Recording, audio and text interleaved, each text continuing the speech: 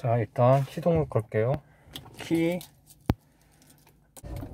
시동 걸고 등화류 확인하고 사이드 피고 가장 중요한 에어컨 틀어야겠죠? 그리고 어, 출발하기 전에는 사이드 내려야겠죠? 요즘 차는 사이드가 다 자동이기도 하고 버튼이어서 간단하거든요. 제 차는 사이드를 이렇게 내려야 돼요. 내리고 백미러 확인하고 사이드도 확인하고. 그 다음에 이제 기어를 D로 바꿉니다. D. 여기 R은 후진이고 N은 기어를 빼는 거예요. D는 앞으로 가는 거고 L은 저단 기어인데 내리막이나 가파른 오르막에서도 쓸 수 있어요. 자 준비가 다 됐으면 이제 출발할 때는 이렇게 바로 회전하지 마시고 머리를 좀 뺀 다음에 그러니까 머리를 자기가 생각했던 것보다 조금 더 내밀고 그때 회전을 하셔야지 차 허리가 다치지 않아요. 그리고 이렇게 이제 아파트 단지 갈 때는 이렇게 어린이들이 많으니까 갑자기 튀어나오더라도 바로 멈출 수 있게 딱 그 정도 속도로 운전하시면 좋겠어요. 자 갑시다. 지금 시간은 6시를 좀 넘긴 상태고요. 사람이 지나가죠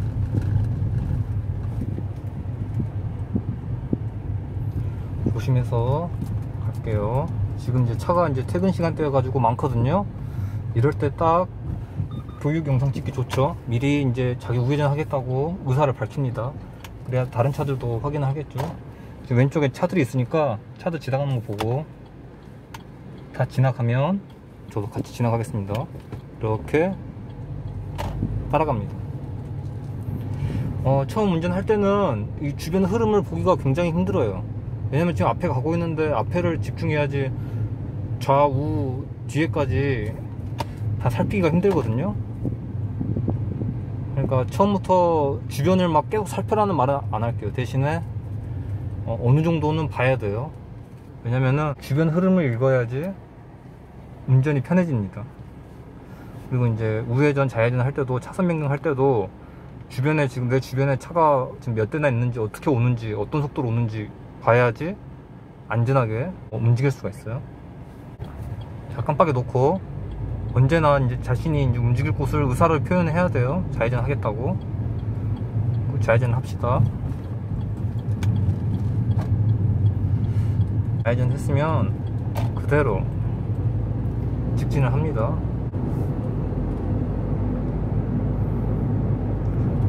내리막이 있고 앞에 오르막이 있잖아요. 여기서 엑셀을 좀 밟아주세요 왜냐면은 그래야 탄력이 붙는데 어차피 뭐 밀리네요 밀려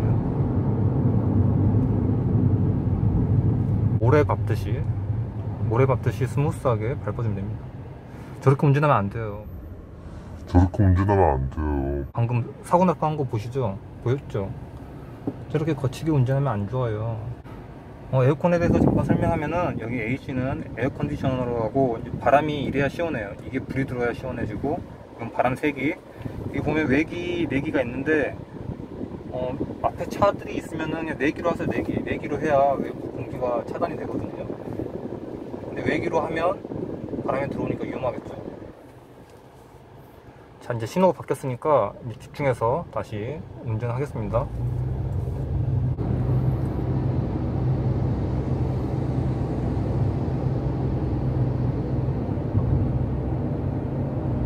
저렇게 깜빡이 안 놓고 급하게 운전하면 안 좋아요.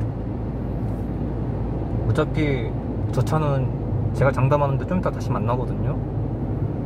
저렇게 저렇게 급하게 운전할 필요가 없습니다. 제가 이제 예언해 볼게요. 이제 한 20초 뒤에 20초 뒤에 저 차는 그냥 제 앞에 있습니다. 그러니까 아무리 벗어나려고 해봤자 벗어날 수가 없어요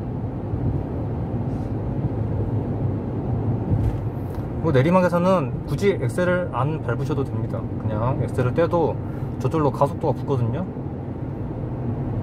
그러니까 굳이 안 밟으셔도 돼요. 내리막으로 내려가면 엔진도 저절로 돌아가게 되고 연료를 안 쓰게 되니까 연비 운전에도 도움이 됩니다. 그리고 대신에 이제 멀리 보면서 이제 가까워지니까 브레이크를 이제 밟아줍니다. 한 번에 밟을 필요는 없고요. 이렇게 smooth하게 부드럽게 제동을 해주시면 돼요 봐보세요. 방금 제가 말했던 차 앞에 지금 있죠? 이거 이 차 앞으로. 그러니까 운전할 때는 중요한 게 절대 성급하면 안 돼요. 몇 초 아끼려다가 큰일 납니다. 그냥 느긋하게, 느긋하기가 정말 중요해요. 느긋하게만 운전해도 사고율이 많이 낮아져요. 급하게 운전하면 그만큼 이제 많이 올라가고요. 봐요. 저렇게 그냥 차선 넘어서 갈 필요가 없거든요.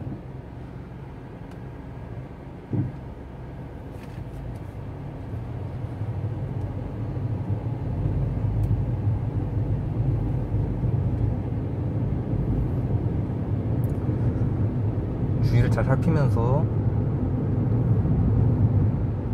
건너갑니다. 이미 건너다가 노란불이 때는 신속하게 건너시면 돼요. 괜히 어중간하게 건너면 위험하니까 이미 지금 교차로를 건너고 있는데 노란불이 됐다. 그럼 그냥 지나가세요. 괜찮습니다. 앞차가 빨간불 들어왔으니까 저도 smooth하게 이 멀리서부터 브레이크를 좀 밟으면서 속도를 조절하면 어, 부드럽게 제동할 수가 있어요. 앞에 50km죠?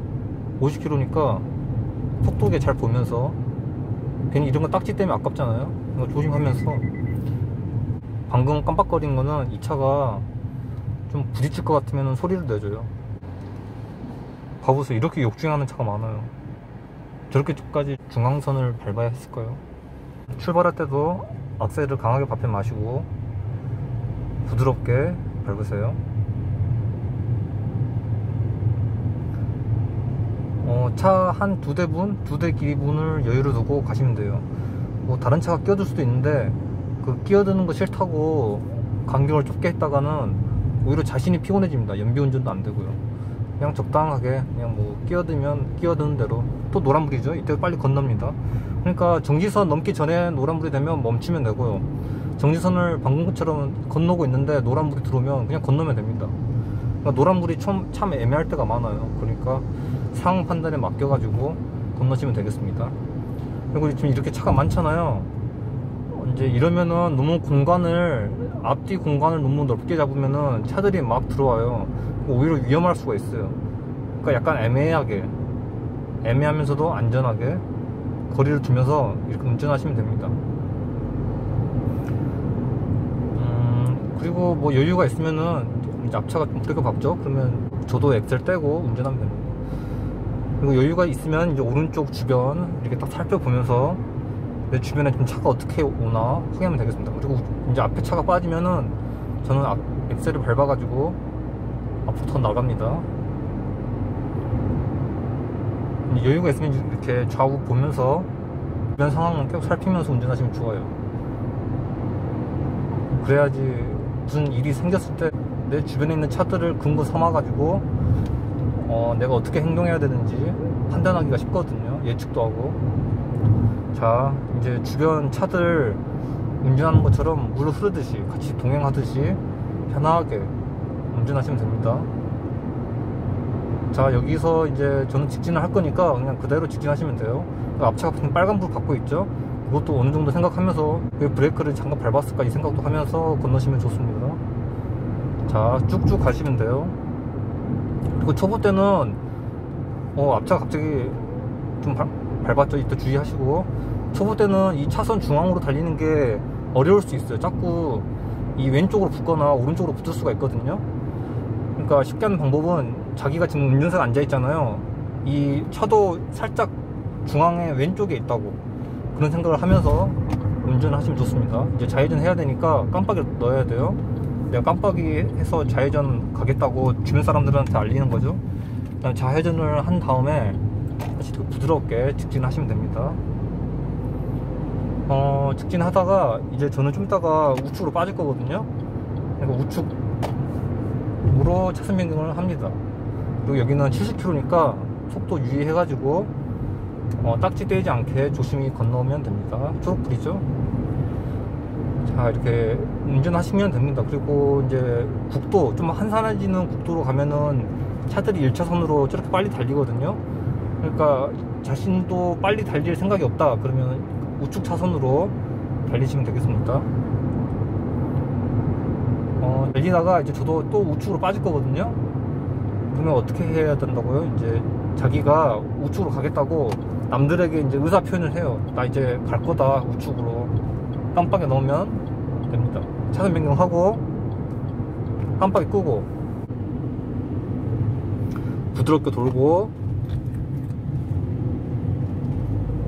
땅이 보면 왼쪽으로 가야 되겠죠? 깜빡이 넣고 넣고 직진 오르막에서는 악셀을 밟아주면 좋아요 왜냐면은 악셀을 좀 많이 더 밟아주지 않으면 속도가 떨어지거든요 보통은 오히려 기름 더 많이 먹습니다. 그러니까 어느 정도 힘을 실어줘야 돼요.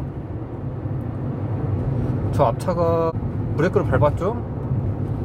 어, 주변 상황을 잘 살피는 사람 같아요. 그러니까 저도 똑같이 살핍니다.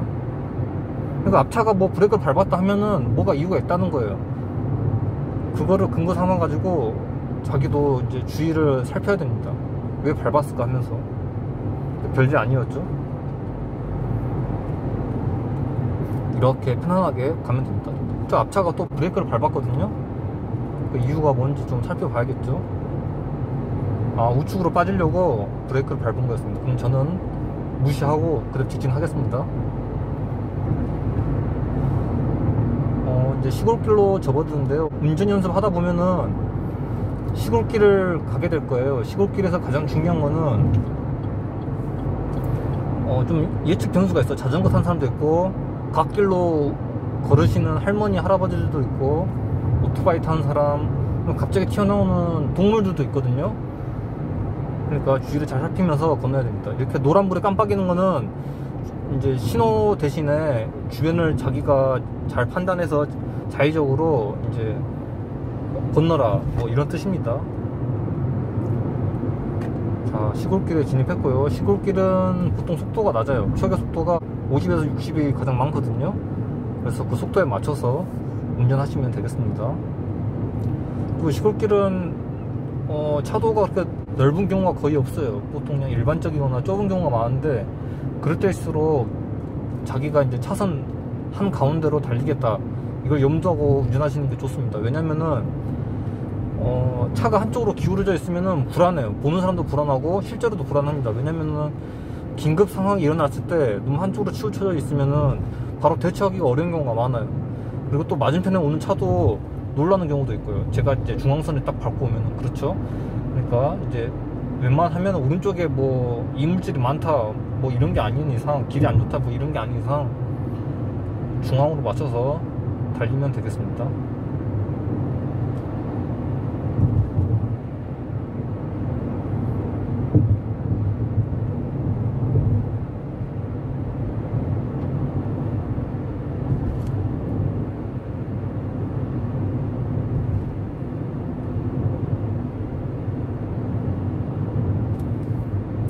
그리고 이제 핸들 돌릴 때 이제 스티어링 휠 핸들 그냥 핸들이라 할게요.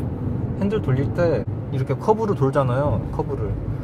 그러면은 커브를 돌때 돌리는 게 아니라 미리 약간 조금씩 미리 돌리는 게 부드럽게 운전할 수 있어요. 그러니까 운전 이제 막 시작하시는 분들은 커브도 뭔가 어색하거든요.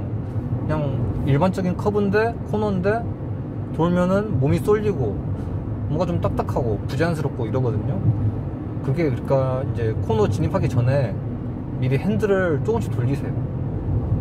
미리 돌리는 거예요. 미리 돌리면 어, 부드럽게 코너로 돌 수가 있어요.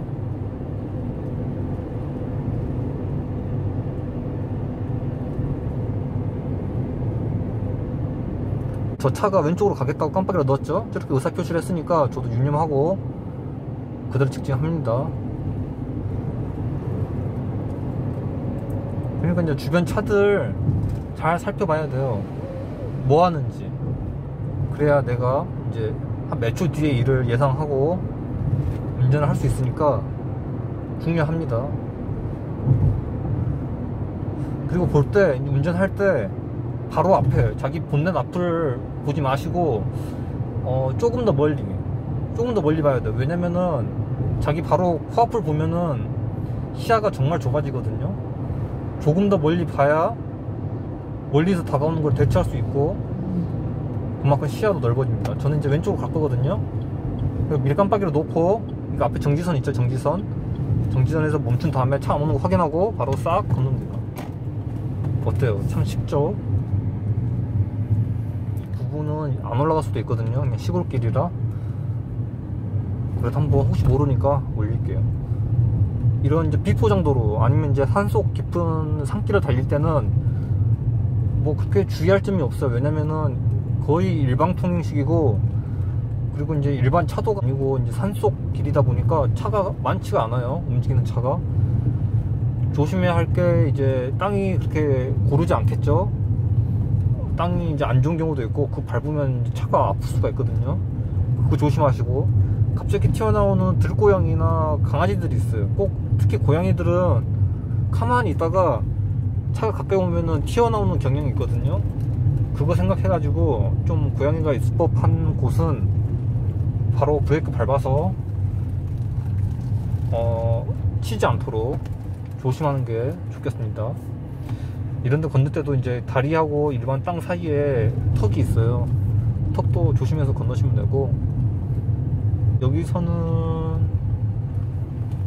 이제 폭이 굉장히 좁아지거든요. 사실 이제 우- 운전 초반 때는 차 좌우폭이 감각이 잘 안 와요. 그러니까 운전석 쪽은 이제 내가 가까이 있으니까 아 운전석 여기 범퍼는 뭐 이쯤 느낌이 있는데 특히 우측 조수석 쪽 오른쪽 범퍼는 이게 어느 정도 위치에 있을까 이 정도 하면 부딪힐까 뭐 이런 느낌이 개념이 아직 그렇게 크게 안 잡거든요. 그러니까 이제 그거 생각해 가지고 어 좀 많이 타보셔야겠죠? 생각보다 오른쪽 범퍼가 공간이 많습니다. 그렇게 미리 조심할 필요 없고 좀 어려우면은 여기 왼쪽 범퍼가 있어요. 자기가 이제 왼쪽에 많이 보통 운전석이 다 왼쪽에 있잖아요 대부분. 뭐 역수입차 직수입차 아니면. 왼쪽으로 해서 붙어서 가면 오른쪽은 그냥 다 공간이 생기더라고요. 그러니까 그냥 맞춰가지고 타시면 됩니다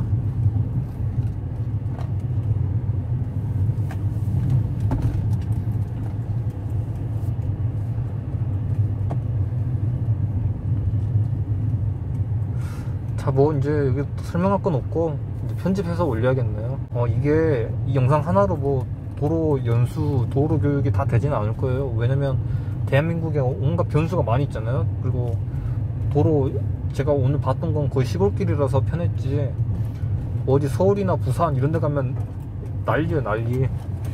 이제 그런 쪽은 제가 뭐 여- 영상 하나 때문에 가서 뭐 찍기는 좀 그렇고 그래도 대충 뭐 개념이 다 있어요. 개념은 다 똑같습니다. 안전하게 운전하는 방법.